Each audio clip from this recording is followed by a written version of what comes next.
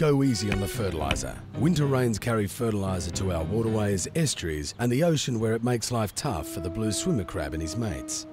So hold off on the fertiliser till spring. Tell your wife you're not slacking off, you're just taking care of lunch.